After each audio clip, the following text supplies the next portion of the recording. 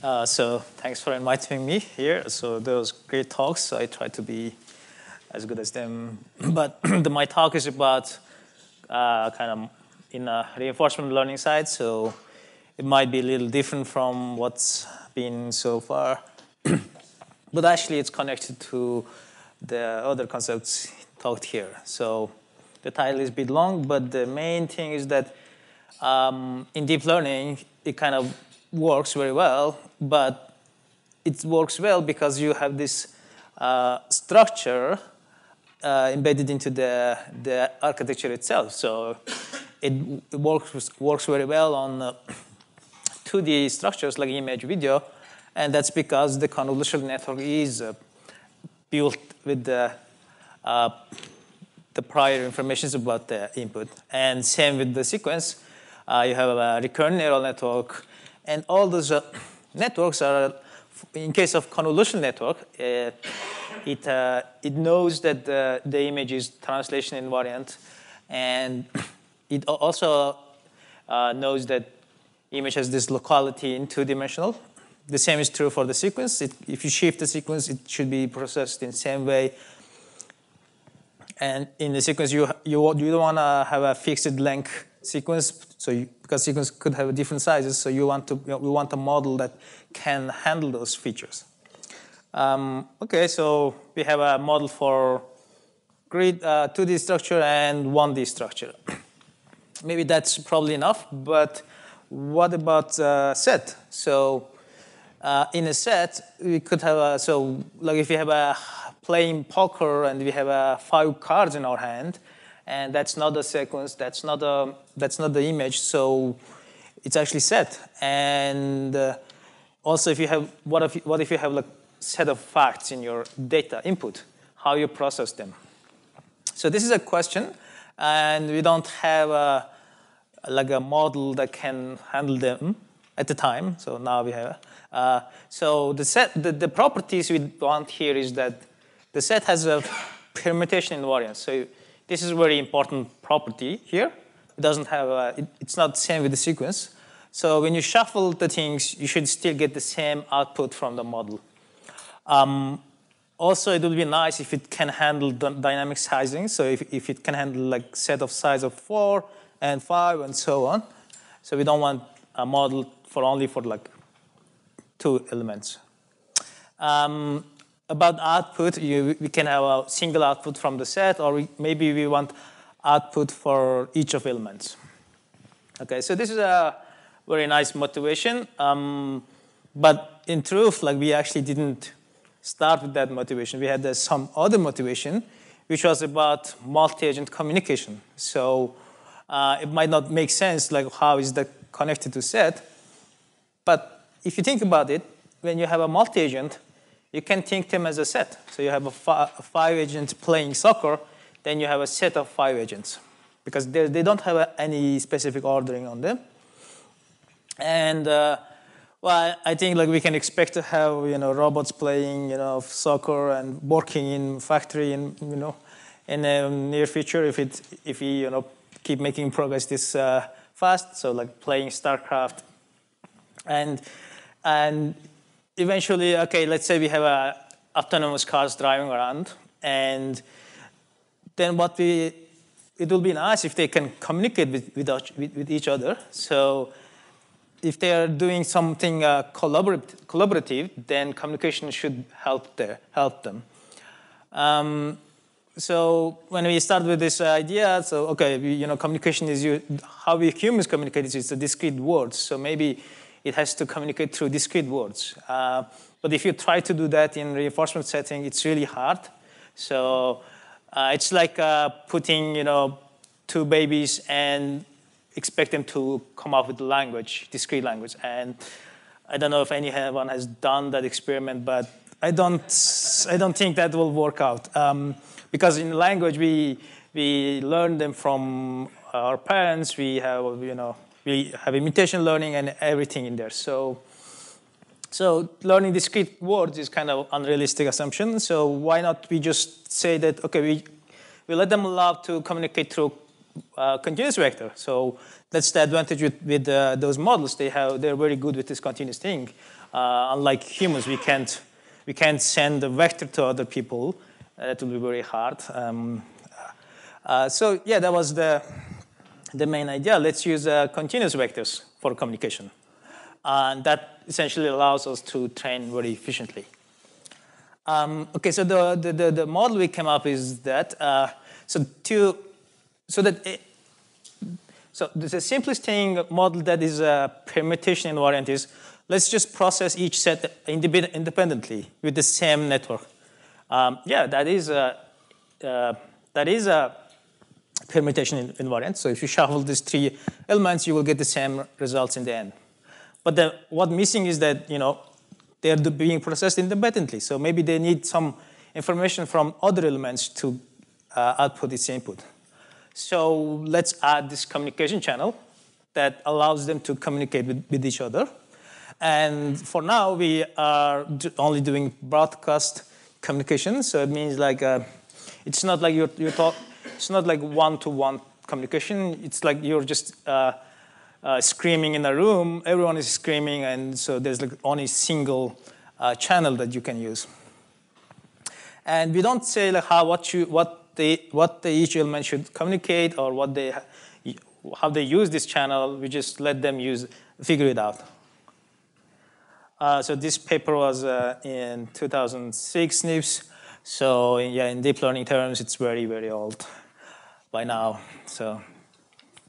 Uh, Okay, so our model, uh, it's, it's, it's just a bit more fancy picture. It, so we have a four set elements. So when we say each element has a stream, so we're just saying that this element is processed by its own some kind of neural network, multi-layer neural network here. Um, but the communication is uh, added, and that is this red line. So what it is essentially saying is at each layer or each hop, each, each element, uh, we take the, the representation of each set and add them together. So addition is very nice because it's a, it's a permutation invariance operation. So we add them together and send this average representation back to the, the all the elements. So that's it. It's very simple idea. So we so at the next layer, the, the set element is uh, getting two different types of input. It obviously gets uh, the, the, the, its previous uh, hidden representation, uh, like a multi-layer neural network, but we have this additional input uh, C, C, uh, C vector that has this communication vector in it. And there's the, so we feed that into the next layer, and the next each this block can be just uh, some kind of one layer neural network. Um, so the, the, so this process, whole process can be, uh, is differentiable, so we can train with the back propagation and don't worry about anything going wrong. Um, so that's the model. So in the, in, in the, so this is the, the each, I'm showing the each block itself. So we are coming, uh, the, the set is uh, getting its previous representation and uh, the, the oncoming, incoming communication vector. So you multiply them, pass it through some linear transformation, each of them, and add them together and apply the, the, some kind of nonlinearity. And that's the simplest thing you can do here. Um, so depending on if you if you say those those weight matrices will be same for every layer, what you're creating is a recurrent version of this model. But if you say they can be different, you have a multi uh, just feed forward network with many many parameters. So yeah, we have a, like, we can have a LSTM version of this or feed forward version of this, uh, which we can see, which, which we will com compare later in the tasks. Um, okay. Uh, so, so we can take it, it as like each element being processed by its stream, own model, and being sharing this thing. Or we can think it as a just we have this one giant model, uh, and that takes all the input of the set and outputs the set. Uh, so that's another way to view this model. Then it's just one giant uh, feed, uh, feed forward network, except this the the, the weight matrix is uh, has some certain structure. So if if we allow this uh, weight the the linear layer in this giant model to be anything, uh, we would have um, we would have you know too many too many parameters, and it wouldn't be permutation invariant. So what structure we are putting is that the that this uh, the linear layer should have a, a, block on the diagonal. It should have a block matrix H. So that would be that would correspond to the processing the each stream. And for other off diagonal, you have the block the same matrix C for processing incoming communications. So you can see this this this matrix is a permutation invariant matrix. And also, you can change its size any way you want. So you can have size of 3 by 3 or 5 by 5. It, it doesn't really matter. uh, okay, so, but then, like, okay, we have this model and we looked more closely and we found out there's actually something called graph neural network. and uh, and actually, our model is just a graph neural network. So it's a bit disappointing to find out that.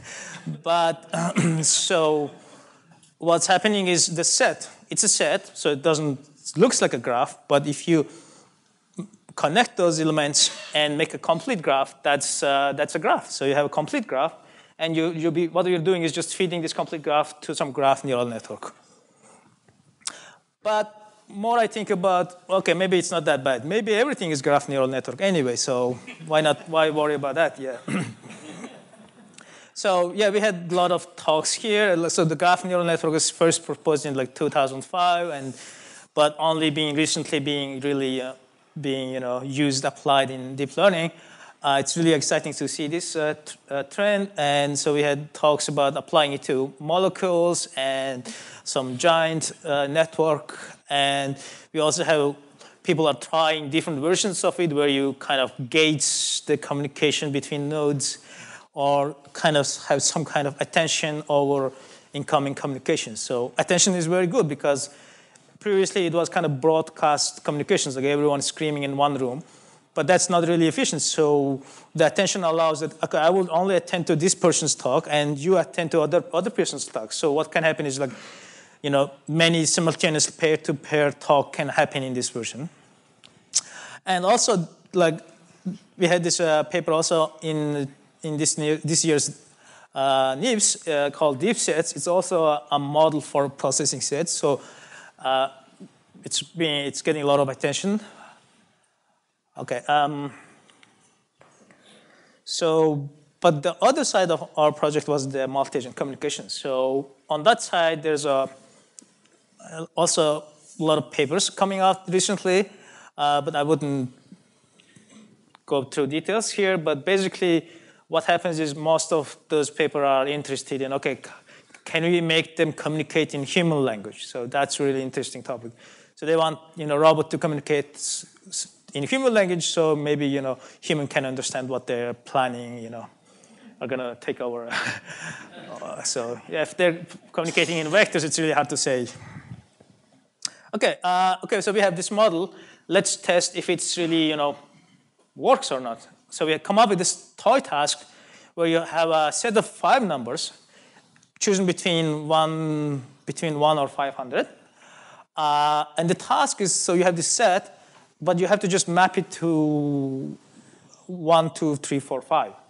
Um, and it sounds very simple, uh, but it's you need the communication between these elements because you, if you map uh, each each number to some fixed number, there's always going to be overlap. So you don't want overlap.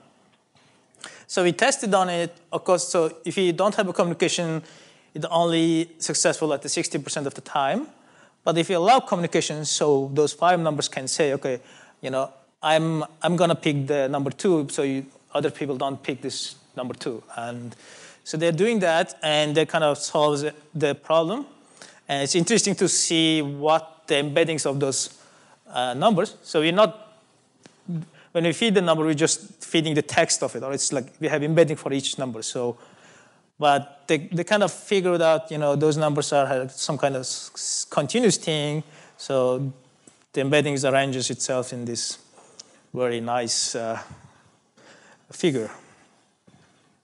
Okay, uh, but this was uh, kind of just make sure that everything is working properly. Doesn't say, you know, anything else. Uh, also, we tried uh, experimenting. So, one, what not, another task you can think of on set is you have set of words, and it's supposed to be some sentence, but you don't know what kind of sentence is it. So it's a back to sequence problem. So we give a bunch of words, and we expect the model to create a sentence for us.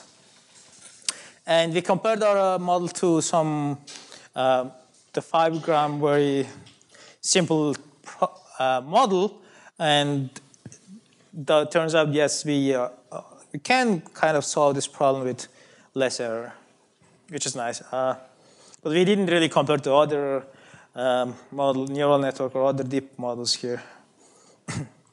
okay, uh, so so is it only way to process set? So only way to process set is that just to add them together and you know expect to solve this problem. But uh, actually, no. There's another approach to handle set. So you might have heard about the memory network, but it's it's kind of a model that has an external memory. So you have kind of core controller module. You can think it as a, like a LSTM thing, or then you have this outside memory. And this in, in, outside this memory, you can put anything you want. Uh, well, set. So you kind of put a set of vectors into it. And this model can read those sets and process it.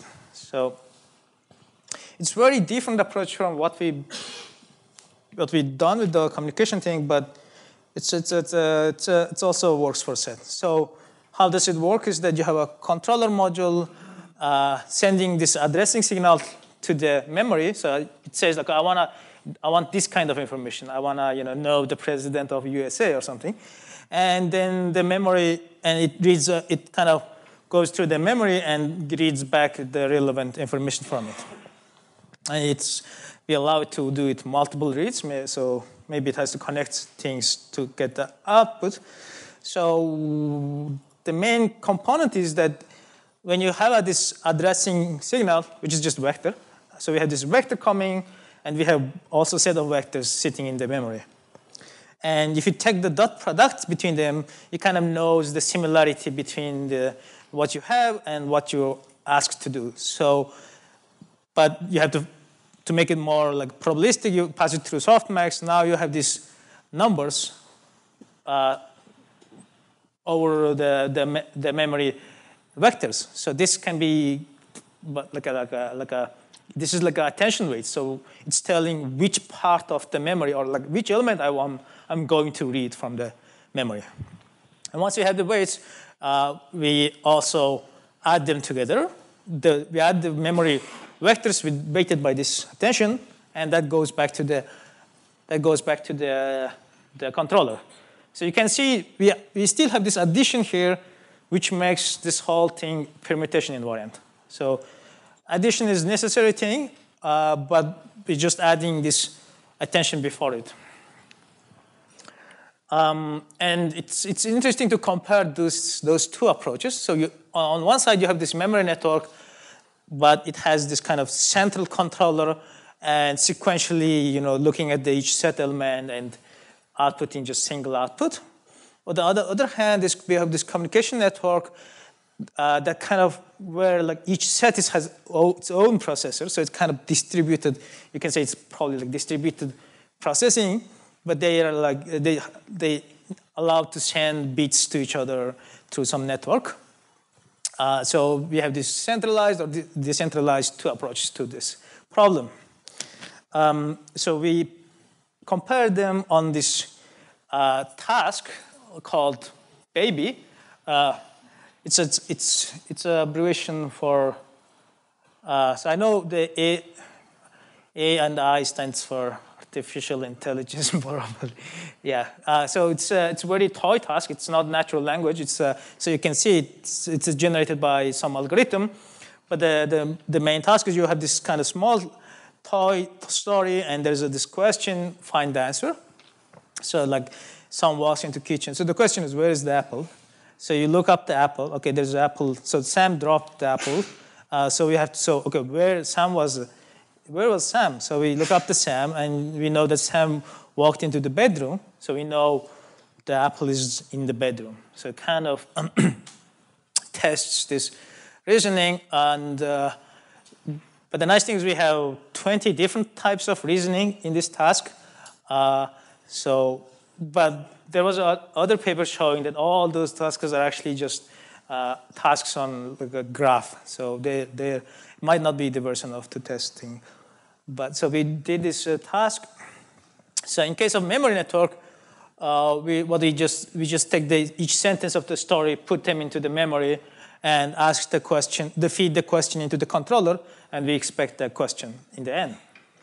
Uh, but in the CommNet, we process each sentence by its own stream, but the question is kind of sent through the, the communication channel. So everyone knows what the question is, and they have to talk to each other and give me an answer in the end. So because we have a single answer in the end, we want we simply add the the, the representations in the end and get a single answer in the end. Um, okay, so this is the, the, the, results. So what happens is that the memory network be, uh, was the best, well, better compared to CommNet, but it's not the best model. There, was other paper that actually by uh, Mikael Henaff that solves all the tasks. But at the time, yes, the memory network was, uh, well, not even at the task, but it was good. But it's understandable because the memory network itself is inspired by this task and kind of made, for, made to work for this task. But it's surprising that the communication also solves this uh, most of the tasks. Uh, so in a memory network, because you have attention, you can see what's happening inside the model. So if you just look at the attention weights, in this case, so the question was, where is the milk? So, so the model, I think, looked for the word milk, and so it attended to the first two uh, sentences because both of them had milk. But then it figured out, okay, the second one happened the last, the most recent fact. So it attends on the second fact. Now it knows John has the milk. So in the next hop, it attends, it looks for the word John, and it, it, now it knows that John was in the hallway. So that's how it.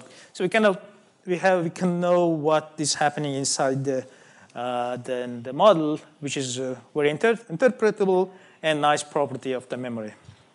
But for communication, it's really hard to say what's happening.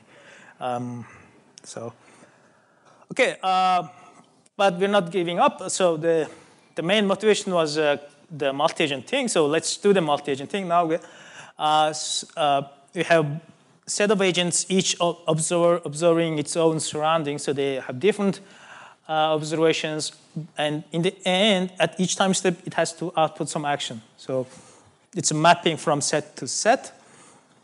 And uh, so I have to say that it's a collaborative task, fully collaborative task. So it has the same objective. Uh, it only works in that case for now. Um, and we use this policy gradient for uh, training the reinforcement algorithm. But it's just gradient descent, same gradient descent we're doing here, except it's through this, except it's through the action because action is uh, discrete variable. We can't take a gradient, so we have this. There's this trick to com, uh, compute the unbiased estimate of the gradient. Uh, uh it's called the policy gradient, and there's some other tricks to reduce this uh, variance of this estimate. Um, so the task we considered was, okay, we, let's say we have these cars work on a road, on a junction, and it's because it's a future, we don't have traffic lights, and all of them are autonomous. Uh, but they have to communicate with, with, with, each other so they wouldn't collide. So, and also we assume it's like very, very foggy day, and you don't see anything. So you're going blind, uh, you, only information you're getting is this communication thing from other cars. Um, and the, so the cars come and go, so the number of cars is changing, but we have some kind of limit on it.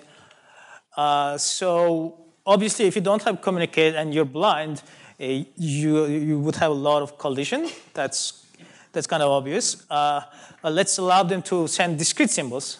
Uh, so you kind of you can uh, compute the gradient for discrete variable through the same reinforced technique, but it doesn't really work well. So it's uh, doesn't really work well. Uh, also, what if you just take a giant neural network, fully connected neural network, and takes the control of all the cars? But that doesn't also work because it doesn't know the permutation invariance. Uh, so yeah, we, uh, we, get, we got what the, the result we expected. That was nice. Um, right. Um, so yeah, let's. So this is another harder version of. Now we have four uh, four junctions, uh, so it's a little, little harder. And uh, now we can try. We can some try something like you know you only communicate with nearby cars. So so, but uh, let's see the actual um, the, the, the agent. Okay, so this is the before training. So you can see this it's, it's changing the color. Uh, that's well, it, the, the, change of color is just braking, so it allows it to brake. But when it becomes excess, that means it's collided. So now it's trained, so you can see it doesn't really brake. Uh, it's kind of crazy, but doesn't also collide. So it's really magical. So they just go through and find the find the. Uh, so this is the harder version. Um, so they have like still small visibility around them. Okay, so before training, they just, it's a chaos. You're just colliding with everyone. Um, I have to tell, that each car has its own specific route, so it just follows the route. Um, so after we train this thing, and so you see it doesn't stop. Uh, very rarely it brakes. So this is hopefully you know a solution to the like traffic jam or other problems uh, will be very scary for people inside those cars. um, so I say this is just a graph neural network. Um, but interesting thing is happening here. Well, if you look at this, uh, the, the graph itself and like see the whole episode, what's happening is we start with some three or cars, but some car leaves and new cars coming in. So the graph itself is looks very different. So the graph it's, is changing its shape at every layer. So this is something you can do with graph neural network. It doesn't. It does work very fine. Uh, it works fine. So it's not that it's not changing the graph for every input. It's changing the graph at every layer. So this is something I think is interesting to note. Um, so, okay, so we were interested in, okay, they're communicating, they're solving this task, but how are they solving it? So let's look at the, the messages they're sending to each other. So because it's a vector, we can't look at them. So we, what we did the PCA and the, looking at the 2D plot of it. So we can see this communication vector is mostly at zero. So this that big blob is around zero. So it's it's saying like mostly you don't say anything because you know you, so you keep silent, but sometimes you say something and those things are kind of clustered, so we can interpret them as some, some kind of word. So what those ABC words means, uh, so we're just comparing this to the, the representation itself. So the, the hidden representation is not actually collapsed to zero. It does have some information in it. It just doesn't communicate that information to the other agents. so, so those so those uh, words actually mean something. So for example, that word A is used by this the, the, the car at the blue location to inform the cars at the red location to brake. So we kind of did the simulation of two cars and like what happened. So blue car, when blue car is at that location, it says, okay, if you're there, please brake. and the other words are kind of used in similar manner okay, I'm at this location. If you're at that location, brake now. So we wouldn't collide in the future. It's really different from how the traffic works in reality, but it's interesting uh, traffic rule.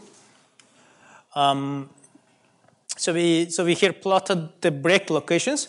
So you can see the car coming from the left side never brakes. So it's it it's just goes through and it says the other cars to brake, and and but the other directions has a uh, so uh, have to brake. Uh, so and this is the, the, the norm of the communication uh, vector. So you, you kind of see there's this bright spot.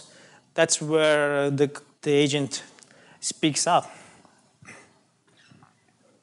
Uh, okay, so that was the one task. And then we did another task like inspired by StarCraft.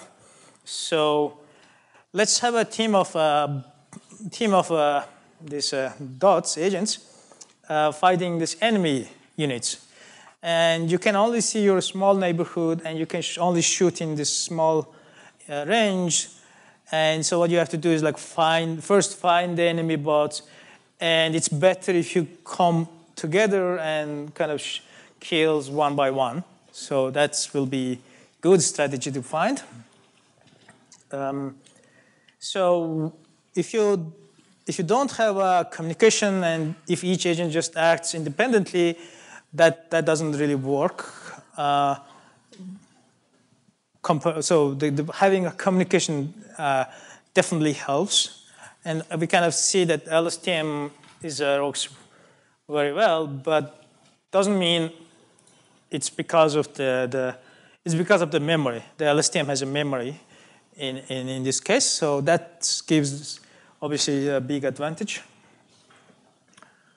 Um, yeah, so this was a, so, we, so in summary, we have this uh, distributed neural network model uh, that can take a set and output uh, also set uh, values. And we showed that it doesn't, the communication is actually ends up being sparse. So, but what about features? So we only considered uh, where agent has this single task, so like just trying to solve the single objective. But but in real life, when cars are going around, they have each own objective. So they want to get to their destination fast, and they don't want to collide. so it would be nice if we find a way to generalize this to a non-fully cooperative setting. But it's tricky because if it's if it's they're not non-fully cooperative, why would you you know uh, send the continuous vector to your other agent, and why would you send the, the gradient back? You know, so it's it's it's something uh, strange to think about. And also, it will be interesting. So we have this two centralized or decentralized approach, which would works best in what kind of problem. So that would be interesting, I think, to figure it out. Uh, so, so thanks for the attention. Oh, okay, yeah. So, thank. These are my, yeah. So yeah, those are two my collaborators, Arthur and Rob is at my advisor at NYU.